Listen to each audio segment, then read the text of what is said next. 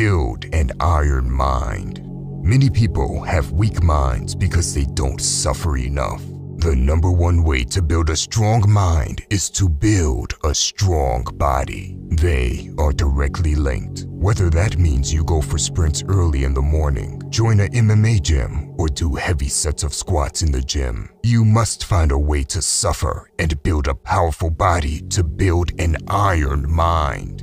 By the way, if you want to level up in life, don't forget to show some love by hitting the like and subscribe button.